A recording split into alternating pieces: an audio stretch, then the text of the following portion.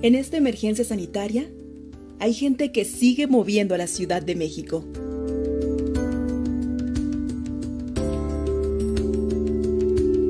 Doctores, enfermeros, policías y personas que diariamente se transportan desde sus casas a su lugar de trabajo para cumplir con su labor. Hoy agradecemos a las personas que hacen posible que la ciudad no se detenga.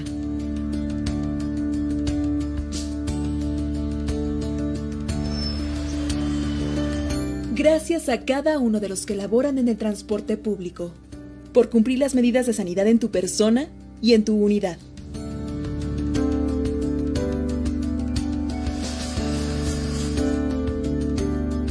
Gracias por tu gran compromiso con la ciudadanía. Gracias por tu entrega, por tu valor.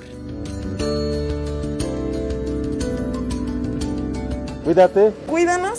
Quédate en casa.